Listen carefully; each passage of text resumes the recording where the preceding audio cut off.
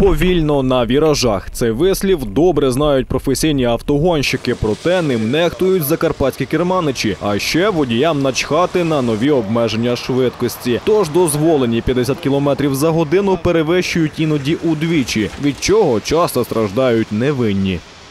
Вулиця Центральна у нас е, тут у нас перехрестя основне. На ньому вже неодноразово були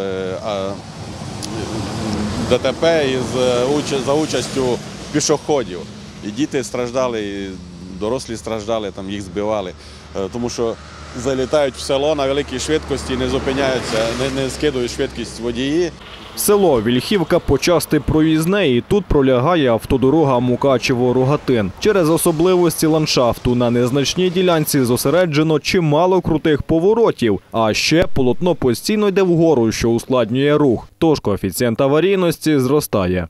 Там біля сільради була машина, перекинулася з зерном, мотоприцеп відірвався. От. Аварій буває, хватає аварій.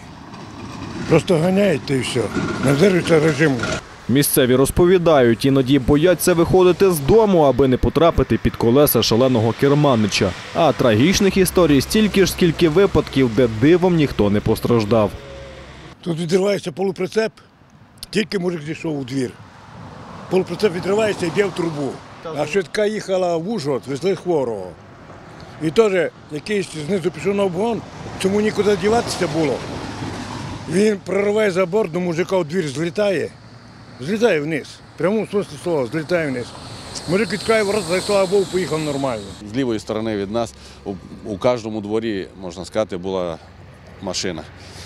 Аварія туди залітала, чи велика машина, чи мала. Огорожі у кожному дворогосподарстві тут спереді поміняні.